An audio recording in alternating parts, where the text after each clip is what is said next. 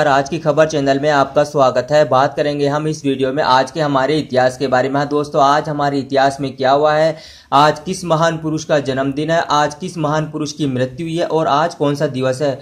तो पहले हम बात करते हैं कि आज किस महान पुरुष का जन्मदिन है। आज कादाम्बिनी गांगुली जी का जन्मदिन है, जिनका जन्म 18 जुलाई 1861 को हुआ था और जिनकी मृत्यु 3 अक्टूबर 1923 को हुई थी। आज मेहंदी हसन जी का जन्मदिन है, जिनका जन्म 18 जुलाई 1927 को हुआ था और जिनकी मृत्यु 13 जून 2012 को हुई थी। आज राजेश जोशी जी का जन्मदिन है, जिनका जन्म अठारह जुलाई उन्नीस सौ छियालीस को हुआ था। आज नेल्सन मंडेला जी का जन्मदिन है, जिनका जन्म 18 जुलाई 1918 को हुआ था और जिनकी मृत्यु 5 दिसंबर 2013 को हुई थी। आज टॉमस क्रून का जन्मदिन है, जिनका जन्म 18 जुलाई 1922 को हुआ था और जिनकी मृत्यु 17 जून उन्नीस को हुई थी। आज प्रियंका चोपड़ा जी का जन्मदिन है, जिनका जन्म 18 जुलाई उन्नीस को हुआ था। अब हम बात करते हैं, आज किस महान पुरुष की मृत्यु हुई है? आज पीरू सिंह जी की मृत्यु हुई है, जिनका जन्म 20 मई 1918 को हुआ था और जिनकी मृत्यु 18 जुलाई 1948 को हुई थी। आज अब्दुल हमीद कैंसर जी की मृत्यु हुई थी, जिनका जन्म